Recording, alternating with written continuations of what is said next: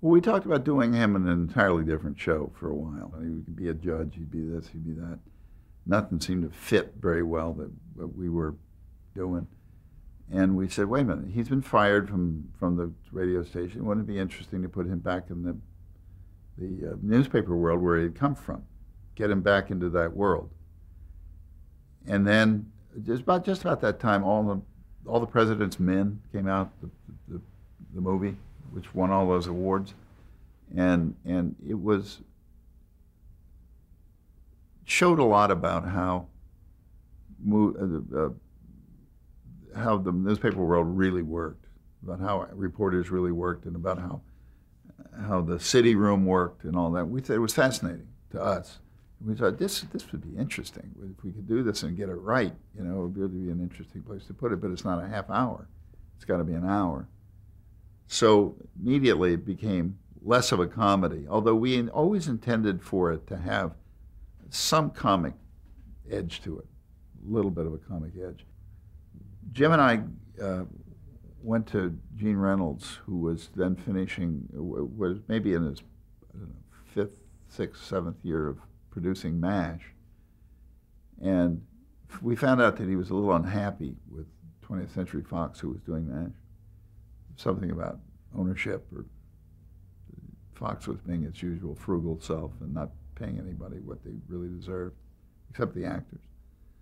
And we got Gene at a weak moment when he was really mad at Fox and said, Why don't you come over and do the show with us? Uh, with Ed, and we'll do a show about newspapers. And he got really turned on to that idea.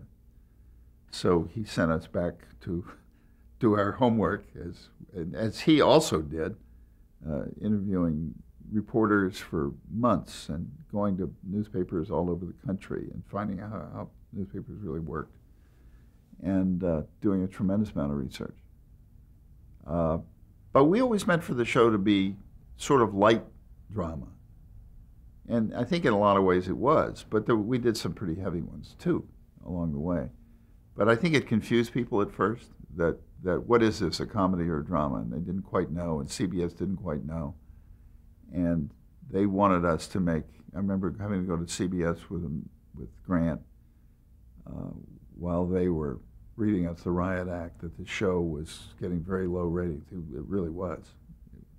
It, it was pretty near the bottom of the Nielsen. And we were wasting this great character, and but couldn't we at least make him more like Kojak?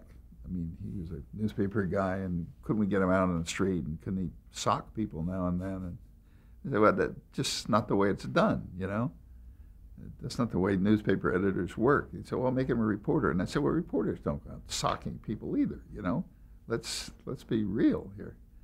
So uh, Grant really backed us up on that one. And he said, uh, uh, the guys, I think, are doing a great job, and the audience will eventually come to it. And, and just leave it on. You, you don't have a lot of choices. You have a lot of holes in your schedule right now. Leave it where it is, and, and the audience will find it. And uh, it's exactly what happened. The audience did find it.